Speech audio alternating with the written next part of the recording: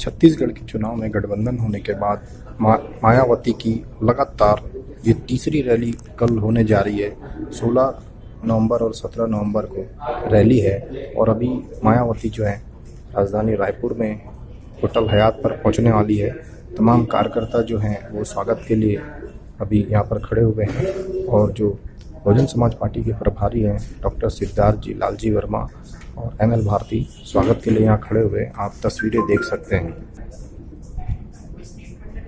छत्तीसगढ़ में मायावती की चार सभाएँ हैं 16 नवंबर और 17 नवंबर। उस कार्यक्रम के लिए अभी थोड़ी देर के बाद में राजधानी के हो, होटल हयात में हम खड़े हैं अभी और थोड़ी देर के बाद में मायावती जो है यहाँ पर होटल में आने वाली हैं।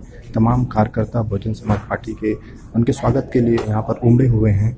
साथ ही प्रभारी भी, बस थोड़ी ही देर में जो है मायावती यहाँ पर उपस्थित होने वाली है।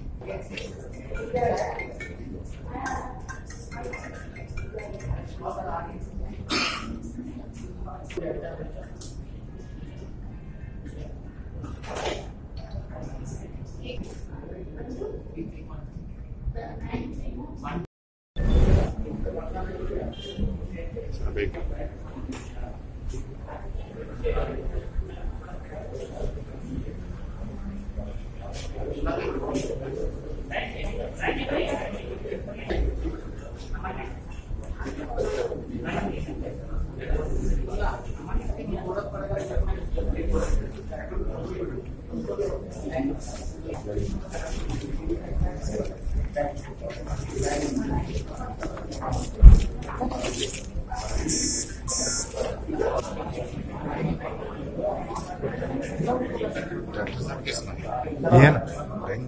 नेशनल दस्तक को देखने वालों से अपील है कि वह नेशनल दस्तक के सपोर्टर फॉर्म को भरें ताकि हम सीधे आपसे जुड़ सके। नेशनल दस्तक की आपसे गुजारिश है कि अगर इसको बचाना चाहते हैं तो नेशनल दस्तक को सब्सक्राइब करने के लिए रेड कलर के सब्सक्राइब बटन को दबाएँ, फिर बेल आइकन की घंटी दबाएँ।